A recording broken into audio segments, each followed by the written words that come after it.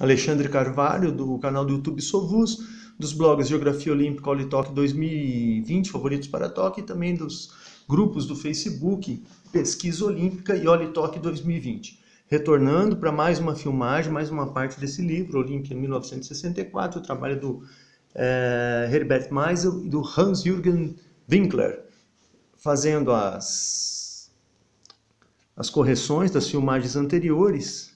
Na verdade, não seria nenhuma correção, seria só um, um ajuste na, nessa prova aqui dos 800 metros, que teve a vitória da Ampacker do Reino Unido, ela está abraçada com seu marido, o Robin Brightwell, que ficou em quarto lugar nos 400 metros e foi medalhista de prata no revezamento 4 por 400. Outra questão que foi colocada, essa jamaicana, que teria chegado aqui na primeira colocação. Não, ela ficou atrás dessa alemã, a Una Morris, o nome da jamaicana. Ela se classificou e depois na outra fase acabou é, desclassificada, não conseguiu chegar à final. Aqui é uma competidora da Alemanha e a série foi vencida por uma soviética que não aparece na foto. Então, retomando, aqui já nas competições do, na prova do lançamento do disco, que teve a vitória da soviética Tamara Press, numa disputa dramática com a alemã Ingrid Lotz. Ingrid Lotz perdeu, marcou 57 e 21, 57 metros e 21 centímetros, Perdeu para Tamara Press, da União Soviética, que fez 57 e 27. Apenas 6 centímetros separaram a medalhista de ouro da medalhista de prata. E a romena Lia Manoliu ficou na terceira colocação com a medalha de bronze com 56,97. Uma diferença mínima separar essas atletas. E a Virginia Angelova, da Bulgária, ficou no quarto lugar com 56,70. Apenas 57 centímetros separaram a quarta colocada da campeã olímpica. Nesses Jogos de 1964, no lançamento de disco feminino. Aqui a foto da Ingrid Lotz, ela que possivelmente era da Alemanha Oriental. E aqui a Ingrid Lotz no pódio, junto com a Tamara Press, da União Soviética, e a Lia Manoliu, da Romênia. A Tamara Press foi campeã também no arremesso de peso e nos Jogos de 1960 ela foi medalhista de prata no lançamento do disco, perdeu para Nina Ponomariova e foi a campeã no arremesso de peso. Posteriormente, a Tamara Prez e sua irmã Irina Prez abandonaram o atletismo depois que é, começaram os exames para determinar o sexo das atletas né, e tudo mais. Aqui no lançamento do dardo, a prova do lançamento do dardo teve a vitória da, da Romênia, a romena Mihaela Penes, conquistou a medalha de ouro com 60 metros 54. A medalha de prata ficou com a húngara, a Maria Rudas, e o bronze com a soviética Helena Gortiakova. Curiosamente, nas, na fase de classificação, a Helena Gortiakova, que foi medalhista de bronze nos Jogos Olímpicos de 1952, quebrou o recorde mundial na, na classificatória, porém na final não conseguiu repetir a marca. Nas fotos, temos a a soviética Elvira Zolina, campeã em 1960 no lançamento de dardo, candidata à medalha em 64, ela fracassou, ficou apenas na quinta colocação e quando chegou à Vila Olímpica ela raspou sua cabeça. É, nessa foto abaixo, a, a, na, na, plateia, a Tilly Fleischer, da, da Alemanha, que foi campeã olímpica em 1936, acompanhando a prova. E uma competidora aqui abaixo, a Elsa Hadrup, é, dinamarquesa, né, vestida né, com kimono característico do Japão. As competições do. Aqui já as competições do pentatlo, duas competidoras da Alemanha né, nessa foto, a Ing Exner e a Hildrun Laufer, a Exner aqui, a Laufer ali, e abaixo a alemã Helga Hoffmann competindo no arremesso de peso nessa prova do, do pentatlo. Ela ficou na sexta colocação. E abaixo, nessa outra foto, a grande britânica Mary Hand Bignall, que conquistou a medalha de ouro no salto em distância com recorde mundial e ficou com a medalha de prata nessa prova do pentatlo e uma de bronze no revezamento 4 por 100, ajudando a forte equipe britânica. Na outra página temos a soviética Irina Press, irmã da Tamara Press. Irina Press conquistou a medalha de ouro no, no pentatlo e em 1960 ela havia sido a campeã da prova dos 80 metros com barreira. Em Tóquio fracassou nos 80 com barreiras, com apenas com a quarta colocação, mas ganhou a medalha de ouro no pentatlo, que estreou nesses Jogos Olímpicos. No pódio, além da Irina Press, medalha de ouro, a Mary Hand, medalha de prata, outra soviética, Galina Bistrova, com a medalha de bronze. A quarta colocada, Mary Peters, do Reino Unido, seria campeã posteriormente nos Jogos Olímpicos de 1972 em Munique, aos 33 anos de idade. As competições de, de ginástica, as japonesas fazendo os últimos ajustes para a disputa, elas conquistaram a medalha de bronze por equipes e nessa outra foto uma representante da Austrália,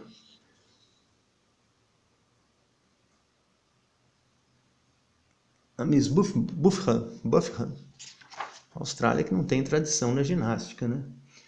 Duas competidoras da Alemanha, a Alemanha começando a, a se fortalecer na ginástica feminina. Aqui a, a Ute Stark é, se apresentando na trave e a Ingrid Fost também se apresentando na trave. Uma outra competidora nessa foto, uma representante dos Estados Unidos, realizando o salto, enquanto uma outra ginasta competia na trave. Curioso, parece até a latinina, mas não sei se seria. Competindo na trave. A União Soviética dominou as competições femininas, obteve 10 medalhas contra 4 da Tchecoslováquia. Só que a Tchecoslováquia conquistou um total de. conquistou três medalhas de ouro, assim como a União Soviética.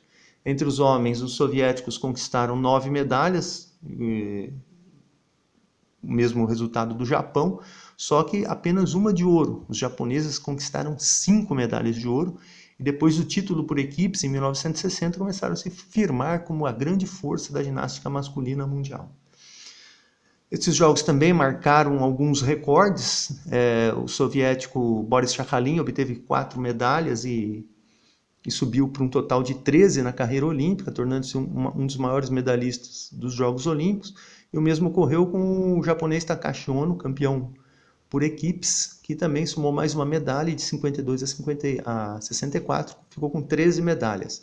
E a soviética Larissa Latinina, aqui na foto, já ganhadora de 12 medalhas nos Jogos de 56 e 60, conquistou mais seis medalhas nesses Jogos Olímpicos de nesses Jogos Olímpicos de Tóquio foi campeã nos exercícios de solo e por equipes, prata no geral individual e no salto sobre o cavalo e bronze na trave e nas barras assimétricas.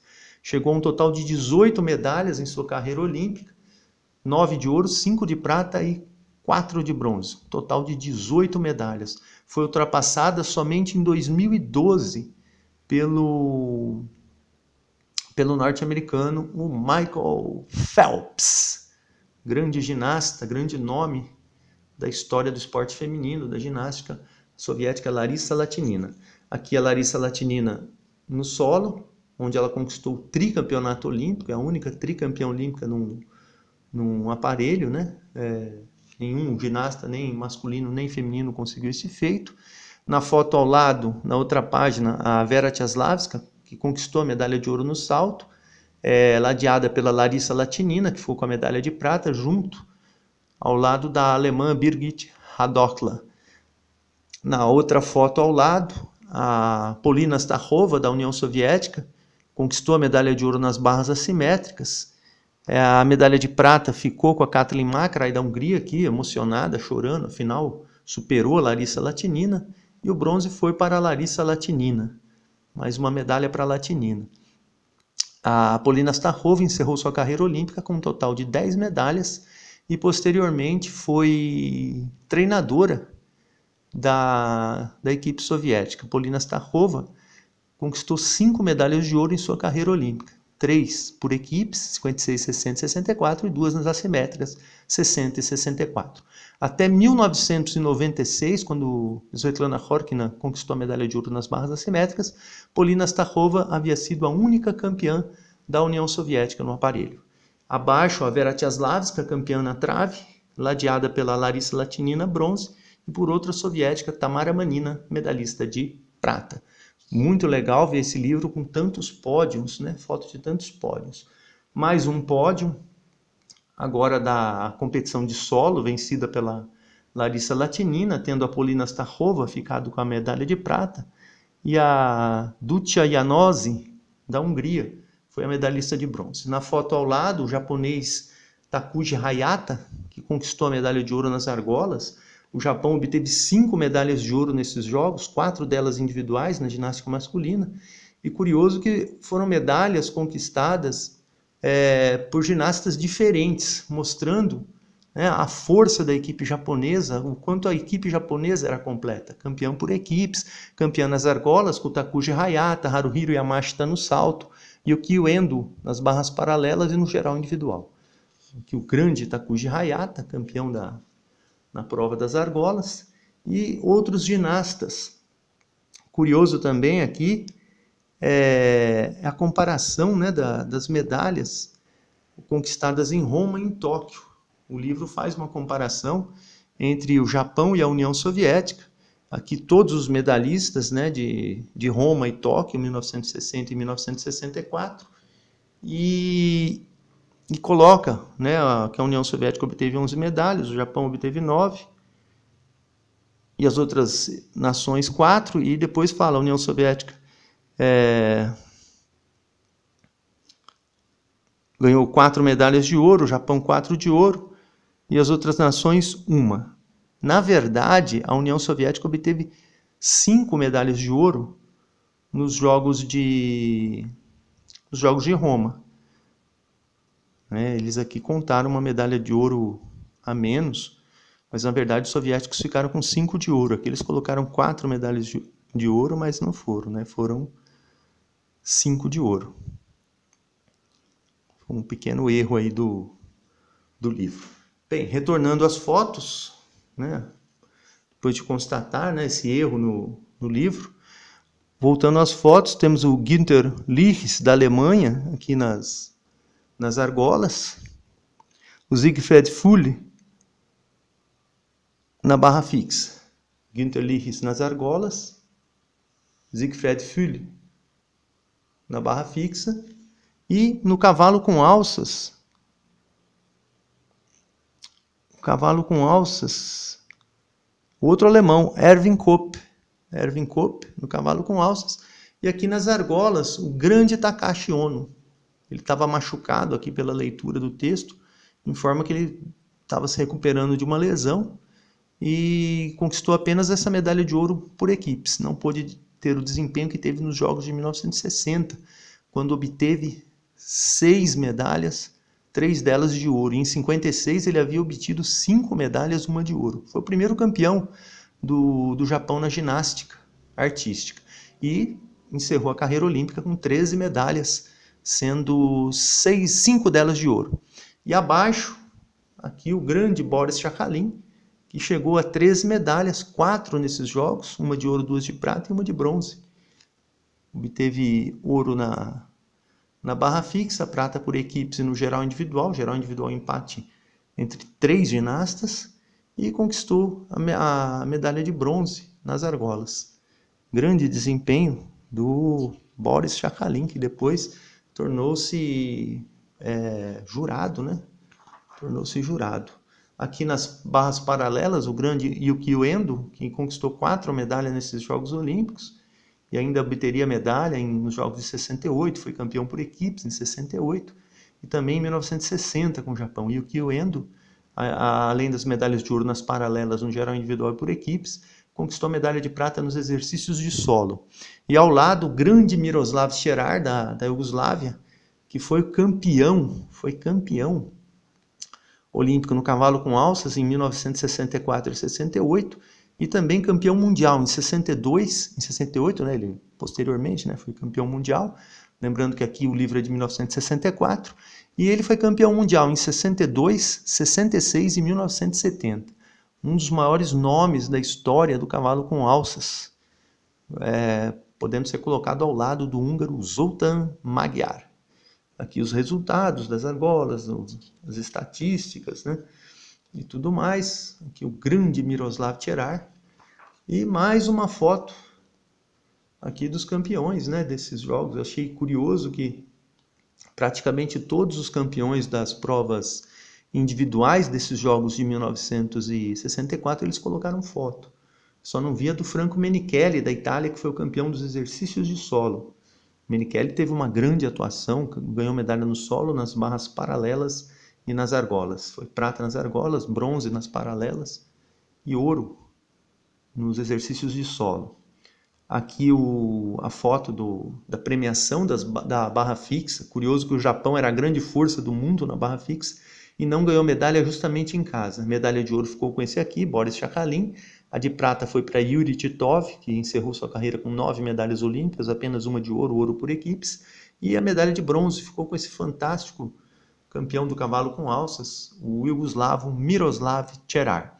A foto aqui do Boris Chakalin, campeão na, na barra fixa, uma proeza, né, o primeiro soviético campeão na barra fixa, e foi campeão justamente em solo japonês. O Japão que foi a grande potência da barra fixa no período que, em que a União Soviética é, competiu nos Jogos Olímpicos. Porque o Japão venceu em 56 e 60 a barra fixa com o, o Takashi Ono, depois venceu em 68, empatando com a União Soviética, venceu em 68 com o Akinori Nakayama, venceu em 72 e 76 com Mitsutsu Kahara e em 1984 com Shinji Morisue.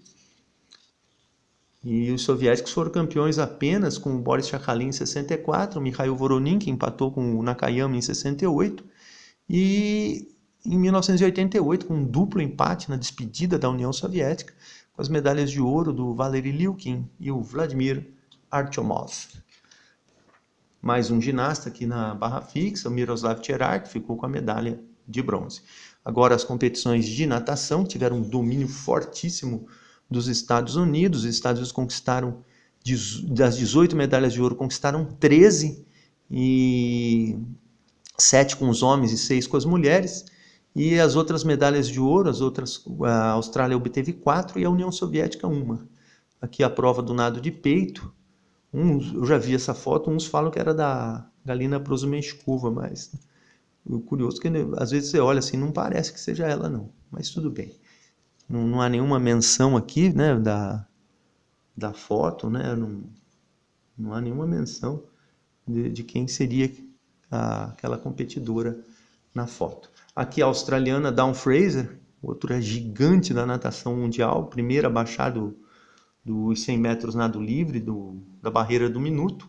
Dawn Fraser foi tricampeã olímpica na prova dos 100 metros nado livre, venceu em 1956 em Melbourne, 1960 em Roma e também em 1964 em Tóquio. Grande destaque. E aqui o pódio da prova, né, a, vitória da, da Dawn Fraser, ladeada pela Sharon Stalder, que ficou com a medalha de prata, e ela foi campeã na prova dos 100 metros borboleta, e a Kathleen Ellis, que também conquistou medalha, duas medalhas de bronze individuais e foi campeã nos revezamentos, 4 por 100 medley e 4 por 100 livre. Os Estados Unidos venceram, das oito provas femininas, venceram seis. E nas dez provas masculinas, os Estados Unidos ganharam sete e a Austrália três. Aqui a prova dos 400 metros nado livre, que teve a vitória da Virginia Dunkel, dos Estados Unidos. E essa foto, a Galina Prosumenchkova, né, emocionada com a vitória, tornou-se a primeira soviética, né, conquistou a primeira medalha de ouro para a União Soviética na história olímpica, seja em prova masculina ou feminina. E aqui ela comemora dando um beijo aqui na, não, não indica quem seria essa atleta, mas possivelmente a norte-americana Cláudia Kolbe ou a Svetlana Babanina da União Soviética. Aí precisa ver em outras fotos de quem se trata essa competidora. Mas foi um grande resultado da Galina Prosumenchikova, que posteriormente, com o nome de Galina Stepanova, obteve mais quatro medalhas olímpicas na prova de nado de peito nos Jogos Olímpicos de 1900 e 68 e 1972. Lembrando que em 68 a prova de 100 metros, distância de 100 metros, foi incluída no programa olímpico. Então aumentaram né, as possibilidades de medalha. Outra competidora, a Kate Ferguson, aqui dos Estados Unidos, que venceu a prova do, dos 100 metros nado de costas, bateu a grande favorita, a, a Kiki Carron, a Christine Carron da França, que era recordista mundial e tudo mais, era a grande favorita para conquistar a, medalha de ouro, mas acabou superada por esta daqui, a norte-americana Kate Ferguson. Aqui a Kiki Carron com a sua treinadora de 78 anos e ao lado a Kiki Carron com duas duas amigas, né, a Françoise Borry e a Monique Petri. E a Kiki Carron, né, Christine Carron, aqui no meio. Foi modelo, atuou como atriz, tudo mais. Era uma grande personalidade da França nos anos 60. O, outra foto durante um momento de treino na piscina de aquecimento. Aqui o, o Jens Küppers, né, o, o alemão do nado de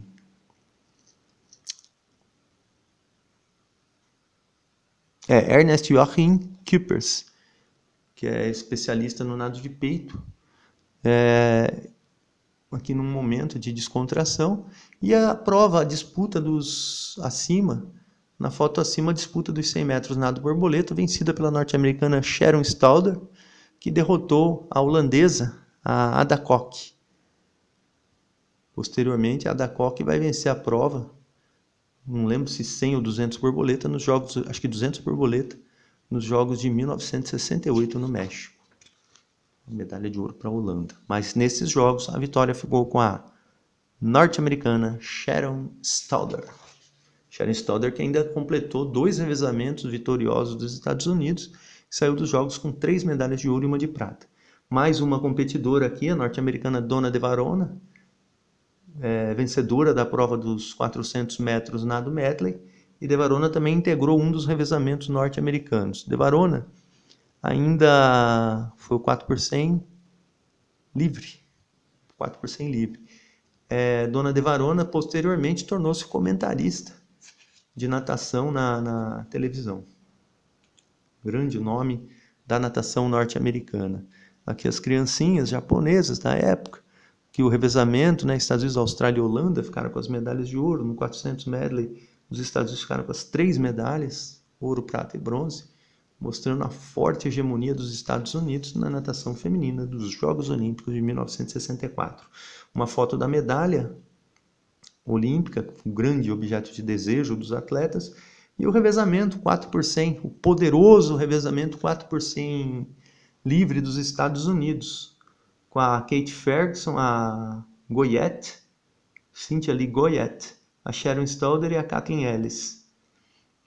É, possivelmente a, a Kate Ferguson nadou a, parte de costas, a Sharon Stalder deve ter nadado a prova do, do borboleta, a Kathleen Ellis no, no estilo livre e a Cynthia Goyette no nado de peito. Era interessante porque não havia prova dos 100 metros, então a atleta dos 200 metros geralmente não participava do revezamento de 100. Havia classificação de outra competidora para a prova, principalmente nos países que eram potência na natação, como o caso dos Estados Unidos. A mesma coisa acontecia no, alguns casos, o revezamento 4 por 100 com atletas da, da, da prova do 100, com atletas da prova do, por exemplo, 4 por 100, atleta especialista em 200, 400 não ia, ia aquele que era especialista em 100 metros. E às vezes esses especialistas dos 100 metros venciam a seletiva americana, mas ia mal na Olimpíada, aí o outro que não vencia ia para era escolhido o 4 por 100 metros, então tem toda uma uma tática de equipe né, dentro da, dessas disputas do revezamento. Aqui a lista dos vários, dos vários medalhistas de 56 a 64. Esse livro tem essa característica de pôr esse comparativo. Eu acho interessante isso, para quando você adquirir o livro poder comparar com épocas anteriores. Aqui compara com 56 e 60. Há uma relação dos medalhistas do atletismo feminino, da ginástica e também da natação feminina. Aqui já as competições de natação masculino, o norte-americano Donald Sculander, que foi o grande destaque da natação nesses jogos, venceu a, as disputas do, do, dos 100 metros nado livre, dos 400 livre, e também nos revezamentos, o 4 por 100 livre e o 4 por, 4 por 200 livre, né? 4 por 100 medley, curiosamente, ele não participou. Tá aqui o, a largada da prova dos 100 metros nado livre, vencida pelo Donald Sculander, tendo o britânico Robert McGregor na segunda colocação e o Hans-Joachim Klein da Alemanha obtendo a medalha de bronze. E a largada, a, a, a prova dos, dos 400 metros, que teve a vitória também do Donald Sculander, à frente do Frank Viegandi da Alemanha, do Alan Wood da Austrália. A foto abaixo é do Hans-Joachim Klein, que conquistou essa medalha de bronze nos 100 metros e três medalhas de prata nos revezamentos. Aqui a relação dos, dos atletas que fizeram essa largada da prova dos 100 metros nado livre. Continuando a prova, o, aqui o, o alemão Frank Viegand, medalhista de prata na prova dos 400 metros nado livre, e os resultados dos 1.500 metros, prova vencida pelo Robert Windle, da, da Austrália, à frente do John Nelson dos Estados Unidos e do Alan Wood, também da Austrália. O, a prova de 200 metros nado de peito teve a vitória do australiano Ian O'Brien, à frente do soviético George Prokopenko e do norte-americano Chester Jastremski. E nessa foto, o Jastremski ao lado do Donald Sculander, uma foto de treino. E esse é o alemão, né, que ficou na, na quinta colocação, o Egon Henninger, depois ganha a medalha né, na, na prova do. Não sei, depois eu vejo se ele ganhou medalha na prova do revezamento. A prova de 200 metros nado de costa, que o, o Ernest Joachim Kuipers, num treinamento. A prova de 200 metros nado de costas teve domínio completo dos Estados Unidos, conquistaram as três medalhas, aqui, ó, aqui o pódio, o Gary Illman, aliás, Gary Dilley ficou com a medalha de prata, o, o Jed Graff obteve a medalha de ouro e o Robert Bennett ficou com a medalha de bronze. Curioso é, é notar que essa prova dos 200 metros nado de costas entrou no programa olímpico no lugar da de 100 metros porque o tradicional era a disputa da prova de 100 metros. A de 200 teve no início dos jogos, 1900, 1904, chegou a ser disputada uma prova né, de 200 costas. Aqui o grande personagem, o norte-americano Chad Graff, campeão no nado de costas. Mais um a prova dos 200 borboleta, vencida pelo Kevin Barry da Austrália, com os norte-americanos Carl Robb e Fred Schmidt, com as medalhas de prata e bronze. E aqui o Gerhard Hetz, da Alemanha, que alcançou uma heróica medalha de bronze na prova de 400 metros nado medley, vencida pelo norte-americano Richard Hott com outro norte-americano Roy Saari com a medalha de prata. E aqui o Gerhard Hetz, num dos momentos, realizando o seu nado. Mais uma foto aqui acima, o Richard Hott, campeão dessa prova do, dos 400 medley. O revezamento 4 por 100 livre, a vitória dos norte-americanos, aqui o Austin, o Clark, o Willman e o Skulander, e abaixo a equipe alemã, né, com Hans-Joachim Klein, conquistou medalha de prata né, no, no 4 por 100, o Jacobsen, Frank Viegand e o Horst Loeffler. Forte domínio dos alemães, três medalhas de prata. Ao lado, a, a premiação, uma premiação da prova de 4 por 200 metros nado livre, ouro para os Estados Unidos, prata para a Alemanha e bronze para o Japão. Revezamento americano com Clark, Saria, Hillman e o Donald Skulander. Outra prova, 4 por 100 medley, Nesses três revezamentos, aqui o Hans-Joachim Klein, da Alemanha, conquistou três medalhas de prata nesses Jogos Olímpicos. E abaixo o Ego Henninger, que no revezamento, foi isso mesmo, ele obteve medalha no revezamento. No, no revezamento 4 por 100 medley, chegou a uma medalha. Excelente resultado do, do Egon Henninger. Vou ficando por aqui, já passei as provas de. Vou terminar ainda as provas de natação, mas a gravação já ficou longa.